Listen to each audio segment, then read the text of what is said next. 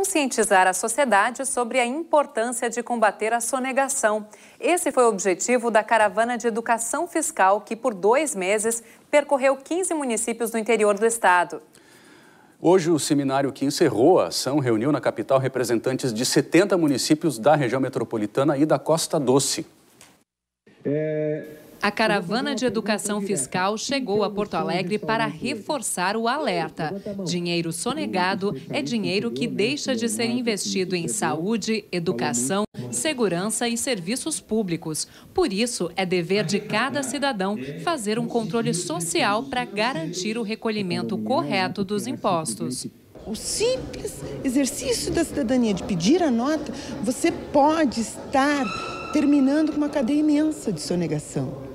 Né? E o outro exercício de cidadania diário é acompanhar o gasto público. Nós temos portais de transparência, né?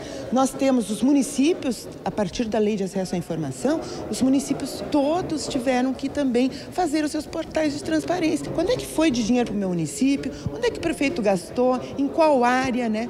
Todos podem fazer esse exercício. É um exercício de cidadania.